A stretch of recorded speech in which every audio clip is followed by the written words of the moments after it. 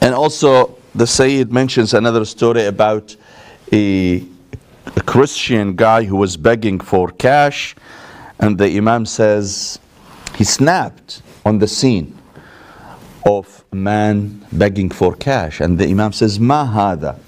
Some people mistakenly heard the Imam saying, Who is this? The Imam didn't say, Who is this? He says, What is this? Meaning, he's objecting to the scene of a man asking, a- a- an old man asking for cash, begging for cash.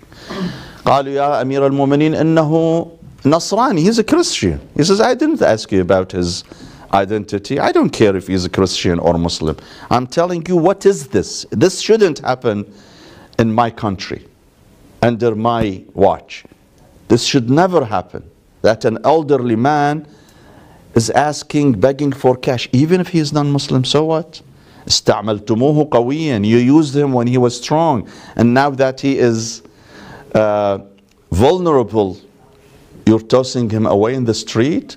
أجروا عليه من بيت المال. Pay him from the treasury. This is exactly the welfare system that was established in the West. Imam Ali is the founder of that system 14 centuries ago. That if you are elderly or you are disabled and you have nobody take care, take, taking care of you financially, then it is the responsibility of the treasury of the country, of the Muslim country, state to provide for you. And you don't have to go and beg for cash. That is the responsibility of the government to protect your welfare, welfare by offering you some stipend that you can survive on.